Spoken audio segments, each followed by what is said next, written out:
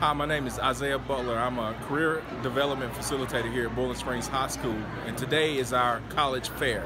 Um, the fair is really for students to come out and actually talk to an admission representative from all the universities. We try to invite all the universities in South Carolina and some in surrounding states as well.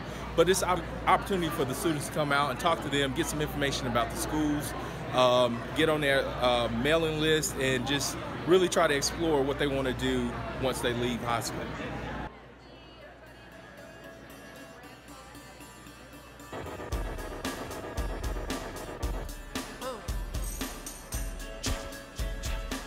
Awesome because, you know, even like just for me, I can't necessarily drive myself yet, so our parents are really busy and they don't necessarily have time to take us to tour colleges or talk with people, and so this is a good face-to-face -face interaction and like get us talking to people.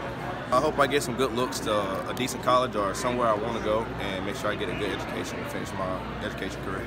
It's definitely an, an, advantage because you get to talk like usually it's like an admissions counselor, someone like coming, so you get to talk one on one with them, and you know usually you can like sign a paper and like get like emails sent to you. So if you're really really interested, then you'd have a lot more information than like say someone who just went on the website or something like that. So.